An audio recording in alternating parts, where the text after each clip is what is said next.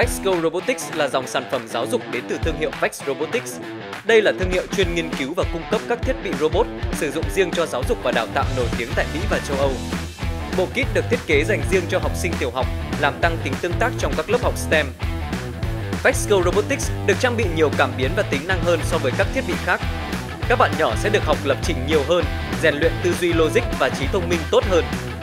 Trường học công nghệ MX là đơn vị giáo dục công nghệ tiên phong ở Việt Nam đã đưa bộ kit VexGo vào trong chương trình giáo dục lập trình robotics dành cho trẻ từ 6 đến 9 tuổi.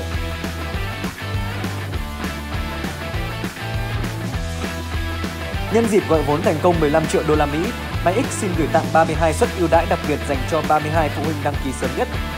Quý phụ huynh đang quan tâm tới khóa học lập trình robotics dành cho trẻ từ 6 đến 9 tuổi tại MyX, xin vui lòng đăng ký tại đường link bên dưới phần mô tả hoặc có thể inbox nhận tư vấn trực tiếp tại hộp thư fanpage Trường học Công nghệ MyX.